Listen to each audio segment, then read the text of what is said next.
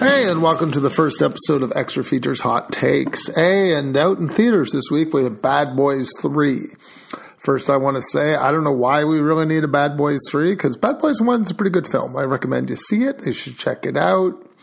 It's got uh, Martin Lawrence in it, and it's got Will Smith. And not like the new Will Smith where he's kind of like, eh, not as good. Jokes are flying in this. It works out well. It's good. And then they brought out Bad Boys 2 which was just a complete waste of anyone's time to watch it or make it. It's like, okay, we made this great film called Bad Boys 1. We're not going to do much in Bad Boys 2. We're just going to go have Mike Lowrey, which I think is Martin Lawrence's character, if I remember correctly, whining the whole time. And that's just not interesting. So, here we go. Now we have Bad Boys 3, because, you know, because if you have a bad Bad Boys 2, what do you need a Bad Boys 3 for? Martin Lawrence needs cash. That's exactly it. Will Smith is doing fine, but Martin Lawrence, probably not doing as well. So, who else do we have in the film? Alexander Ludwig. Yeah, don't know who he is. Don't really care. Vanessa Hudgens. She's, she's uh, mildly okay. I think she's doing better on the Christmas circuit with the Christmas films than she actually is there. Joe Pantoliano's back.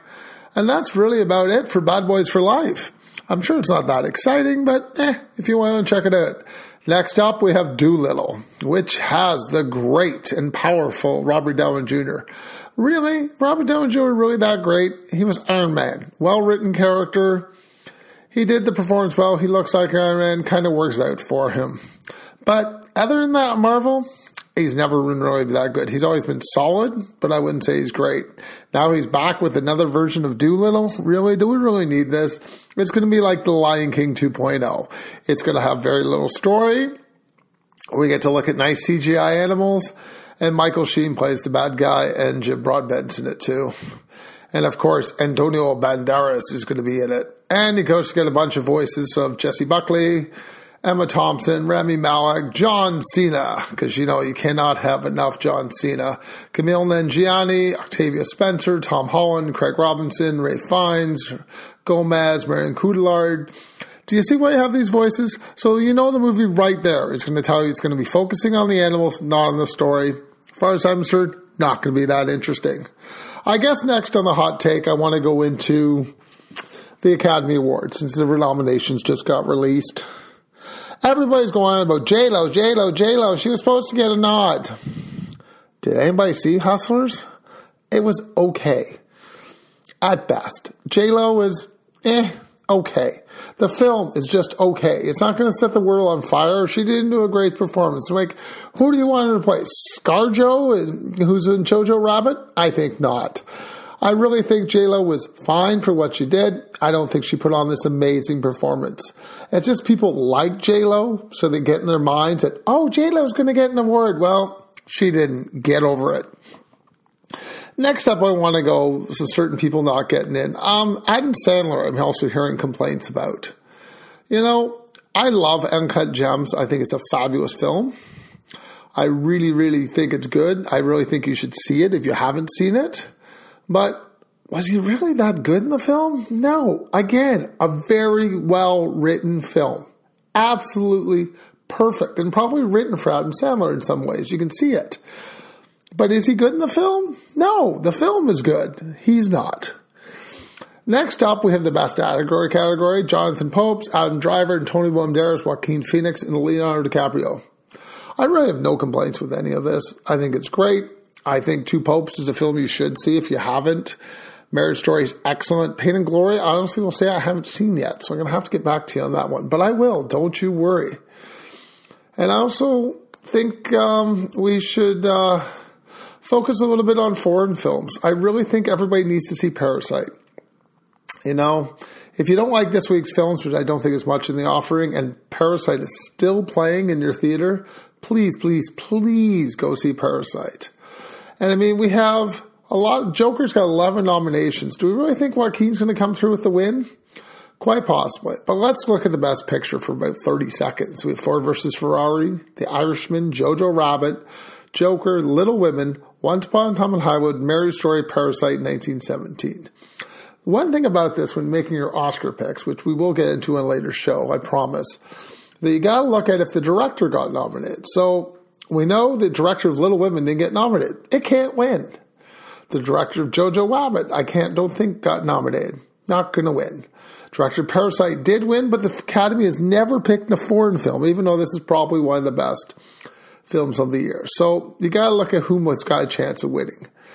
Irishman, Joker, probably two front runners. Ford Ferrari is a phenomenal film, but again, I don't think it's good.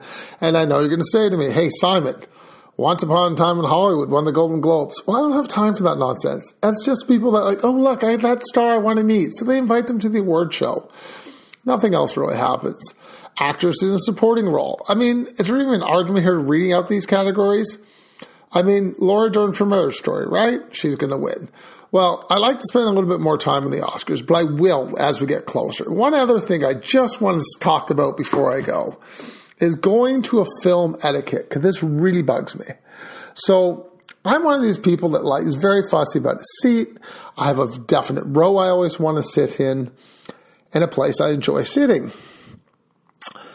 I always try to leave a buffer seat just because I don't like to bug people. I don't want to sit beside anyone, but if I have to, that's fine. I accept that. Sometimes that buffer seat's going to disappear and eh, it's the way life goes. So I don't like pre-trailers, so I tend not to watch them and I tend to want to hear other people commenting on them. So what I'm asking is if you're in a theater, please be quiet. Enjoy the film. I don't need to hear you texting on your phone, and yes, many of you do it. Or I also, I don't want you picking up your phone to see what time it is or what texts you got. If you feel a need to do these things, no problem. Go outside. We have this thing called the hallway that's not dark and not interrupting other people's theater experience. People need to realize we're not in your home. No, not in your home. You're at a theater where I have paid for it and you have paid for it to be there. So put the phones away and enjoy your time at the film. If the film stinks that bad, leave. Number two, um, I have no issues with people bringing in movie snacks.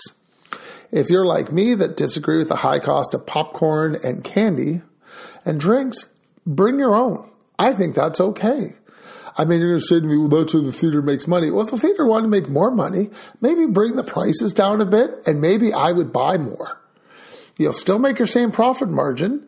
It may cost you a little bit more in cost factor, but I think $10 for drink and popcorn is a little excessive when I get four popcorns in my microwave for a quarter a bag, you know, like four for a dollar, dollar store, whatever they sell, or a box, you know, for two bucks.